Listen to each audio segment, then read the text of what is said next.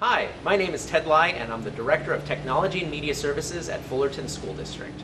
We are here at Hermosa Drive Elementary School, where the first ever Epson BrightLink interactive projector was installed in a classroom. Fullerton is a school district with 20 schools from kindergarten through 8th grade. We have a student population of about 13,800. Our 600 classrooms really emphasize technology. We're really excited about the BrightLink because of the possibilities it has in the classroom. For years, we've been purchasing different interactive whiteboards, but typically you have to buy the interactive whiteboard and the projector. And the installation is twofold because you have to install both parts to it. You know, there are some interactive whiteboards that are all-in-one units, but they're also really expensive. So the BrightLink is a really incredible product because really it, it molds everything in one with just the projector. And that's an exciting possibility for schools everywhere because the installation will be less and you've got an interactive board wherever you want it, whether it's a wall, on a whiteboard, or any surface. In school districts, having a low-cost alternative is really paramount. When you can find something at a lower price point, then you can spread it out to as many students as possible.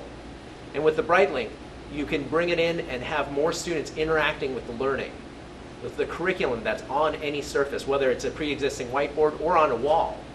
You want learning to happen wherever you are, wherever you can in the classroom. So you don't want to be tied to where a board can be installed. So the BrightLink allows you that kind of freedom to move almost anywhere and change the size of the um, display. The ability to change the size of the projection is really important in the classroom because then you can fit it to whatever space you have uh, available, whether it's a smaller space or a much larger space. And then again, it becomes a much more convenient tool to interact with. Another thing about the BrightLink is the idea that when you can buy more of these tools in the classroom, ubiquitous technology becomes more transparent.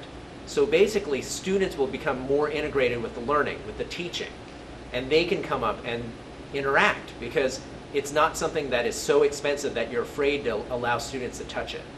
We know that the BrightLink is a new product, but we're really excited about the possibilities and piloting how it can be utilized to enhance and transform teaching and learning in Fullerton School District.